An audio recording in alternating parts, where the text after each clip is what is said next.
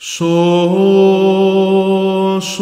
Κύριε των λαών σου και ευλογήσον την κληρονομίαν σου. Νίκας της βασιλεύσης κατά βαρβάρων δωρούμενος και τόσων φυλάτων δια του σταυρού σου πολίτευμα.